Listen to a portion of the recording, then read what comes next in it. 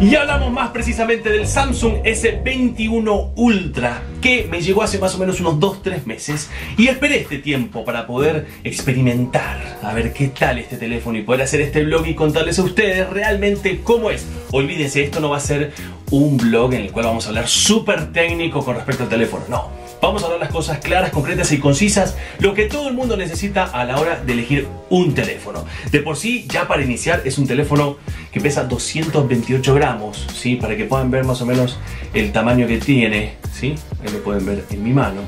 Y eh, la parte que más nos interesa, obviamente, es la cámara. Pero vamos paso a paso. Arrancando, ¿sí? Con la pantalla. Más allá de que es un teléfono que apenas vos lo ves, resulta súper atractivo. Tiene una pantalla de 6.8 pulgadas con marcos casi simétricos en su totalidad. Le da un toque como especial, esos marcos simétricos. Su resolución se define más o menos en 515 píxeles por pulgada, algo poco habitual, ¿sí? que se traduce básicamente en una correcta visualización y un grado de detalle bastante elevado. Bueno, con los bordes, siguiendo con las líneas de diseño, el borde de metal integra los botones físicos, los habituales, esta vez sin Bixby, el altavoz principal, el puerto USB tipo C y la bandeja para el SIM.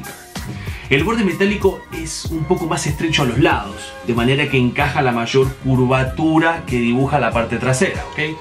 Mucho mayor a la pantalla, con lo cual se mantiene la comodidad cuando uno lo agarra sin comprometer la interacción con la pantalla o facilitar que haya como esos toques accidentales que siempre nos pasa. Un tema particular que tiene este teléfono es que no se ensucia. ¿sí? Vos, por más que lo intentes, nunca se va a ensuciar. Y la textura que tiene, más allá de que vos lo agarres, no es resbaloso. Se te queda, no se resbala. Eso es algo bastante bueno porque, eh, por lo menos a mí, se, se me suele caer bastante el teléfono por los resbalones. Y ahora llegamos a la parte más importante, porque cada vez que uno compra un teléfono, lo primero que dice es, tiene buena cámara, hace buenos videos, saca buenas fotos, y este teléfono es lo máximo. En este teléfono se va a estrenar un sensor de 108 megapíxeles para su cámara principal, ¿sí? Realmente el, S21 Ultra hace como un hueco para un segundo teleobjetivo, ¿sí? que ahora lo van a poder ver, van a poder ver que tiene diferentes eh, teleobjetivos y también ultraangular, que eso le va a dar como no, más allá de la calidad que le va a dar a cada una de las imágenes o videos que vos saques, también le va a dar ese zoom y, estabilidad y enfoque al teléfono. La cámara principal, como te contaba recién, tiene un sensor de 108 megapíxeles, un ultra gran angular, dos teleobjetivos y un enfoque automático por sensor láser. ¿sí? Vemos una clara apuesta acá, eh, del cual el enfoque y el zoom es lo más competitivo. Y acá pueden ver una prueba de lo que es el enfoque que tiene este teléfono. Acá pueden ver ustedes el zoom que tiene el Samsung. Esa es la luna.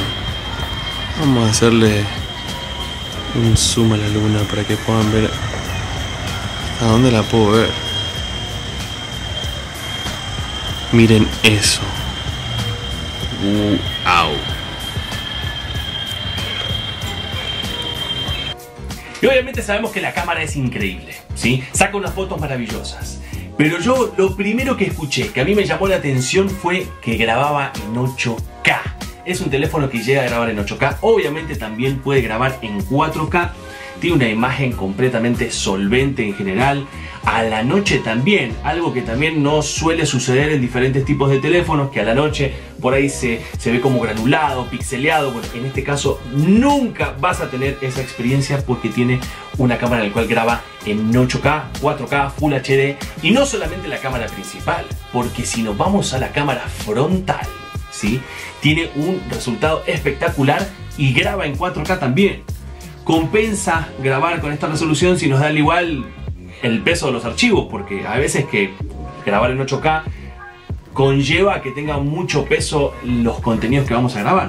Aunque realmente con la cámara frontal, si vos lo pones en Full HD, se ve espectacular, se ven súper bien los colores, realistas y muy equilibrados. Es un teléfono que vos podés comprar de diferentes tipos de almacenamiento, 128, 256 y 512 GB. Tiene una batería de 5000 mAh. Realmente yo lo pongo a cargar y súper rápido. O sea, yo lo tengo en media hora, 40 minutos, ya lo tengo full cargado. Se carga súper rápido. También lo puedes cargar eh, por medio inalámbrico. Así que tenés diferentes tipos de opciones.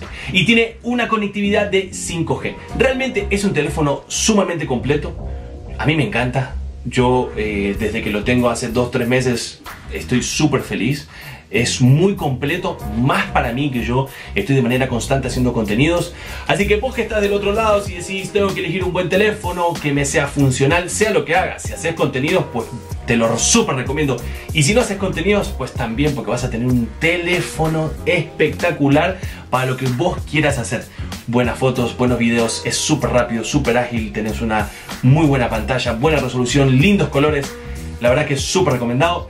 Samsung S21 Ultra. Espero que les haya gustado este pequeño review, que puedan conocer este teléfono de una manera más eh, personal conmigo acá, con este interlocutor entre el teléfono y ustedes. Y si lo llegan a comprar y lo llegan a tener por ahí, lo prueban, me hacen tag en las historias o en las fotos que hagan. Y nos vemos, ahora sí, en el próximo Argentino por.